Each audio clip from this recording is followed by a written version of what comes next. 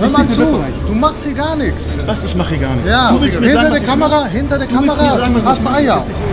Here is Mohammed Abdallah. Hör auf, dich vor die Kamera zu setzen und irgendeine Scheiße zu labern.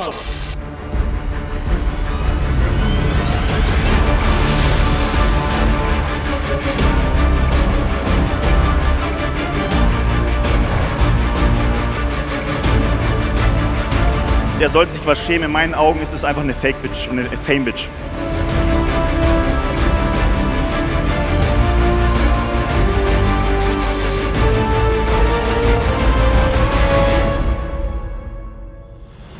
Ich lasse mir von dir nicht drohen. Ich habe keine Angst vor dir. Du machst dich lächerlich. Fake Champion.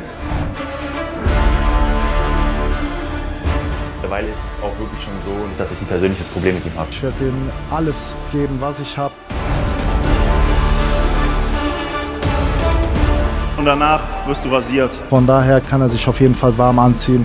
Der Sieg ist auf jeden Fall meiner.